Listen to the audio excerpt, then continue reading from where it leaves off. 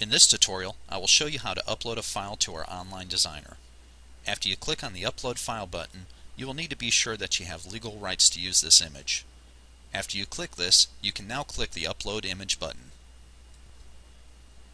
Once you have uploaded your file, you need to select the print colors. Our pricing is based on the count of ink colors used. You have a couple of options here. The first option is to print the image in full color.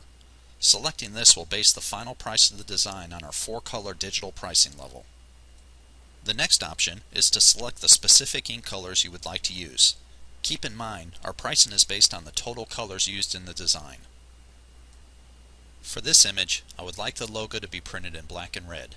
This will determine the final pricing to be based on the two-color pricing level. After you select the print colors, you can click Finish to complete the upload process or go into our image editor.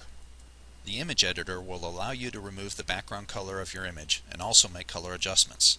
We will go over these steps in a separate tutorial. Once everything has been finalized, you can press Finish to add your file to the designer. Thanks for watching.